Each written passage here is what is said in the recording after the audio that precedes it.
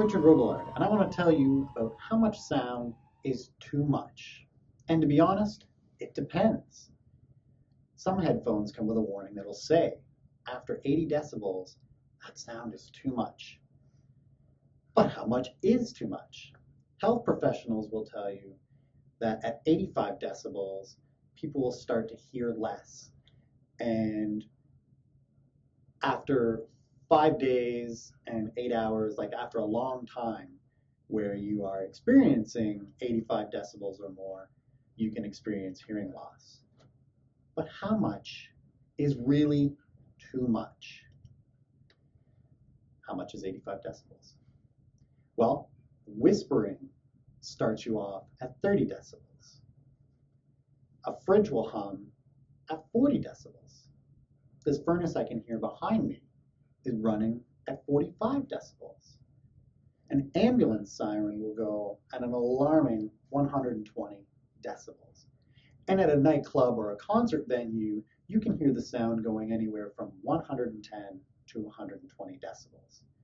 In fact, long-term exposure to any loud noise can cause what is called tinnitus. And what is tinnitus?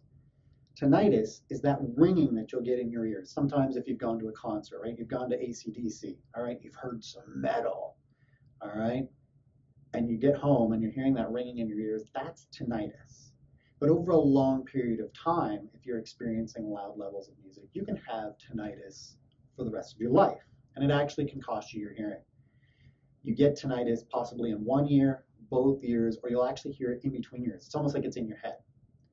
10 to 15% of people have tinnitus of some sort or some sort of hearing loss that is related to sound. 1 to 2% have it really bad. In fact, there was a mockumentary that was made called It's All Gone, Pete Tong, which is talking about a DJ who used to listen to extremely loud music all the time. That was his job. He had to sit in a nightclub, he was listening to listening to music, and he went deaf from listening to all the music, and all he could hear was ringing, but he still performed anyways. So let's talk about some artists that have tinnitus currently. Neil Young. Neil Young is a great artist. He's been performing for years, but now he makes his songs softer, and people will argue that he makes his songs softer and less rocky because he can't stand the heavy music anymore because the tinnitus is ringing in his ears. Ozzy Osbourne all you need to do is watch the Ozzy Osbourne show to tell you how much he can't hear anything. Eric Clapton, Pete Townshend, another one, Phil Collins. Phil Collins actually stopped touring for a while because he can't hear the only sounds that he's making, and he wants to make sure that he's a perfectionist. So he wants to make sure that he can hear everything that he's playing.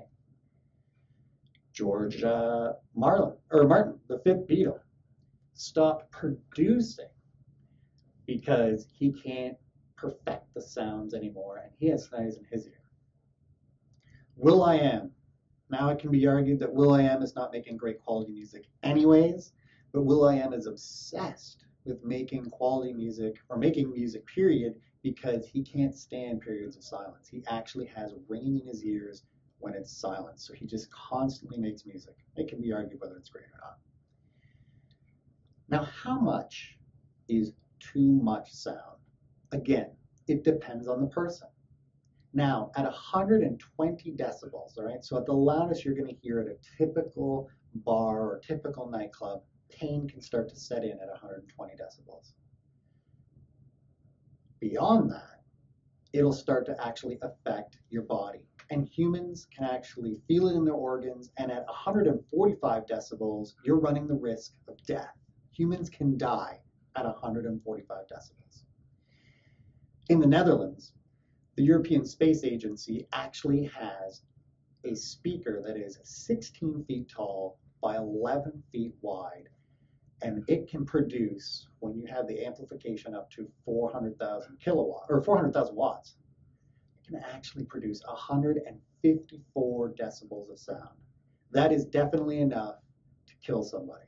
Luckily, in this particular building, it is used to test space equipment, and it can't even be turned on while there's still humans in the in the uh, in the room where it's situated. Um, the sound of 154 decibels would be the sound of several jets taking off at the exact same time right beside you. All right, but you will never hear that sound. On the other hand, what is the quietest you could possibly go? Well, there's a lab in Minnesota that has a room full with baffles, and it's a really cool looking room. The sound that is produced in there is so low that it actually registers a minus on the decibel scale, up to minus nine decibels, which is the Guinness Book of World Record for lowest or quietest sound. All right. In there, it is so quiet, you can actually hear your blood flow. You can hear your organs working.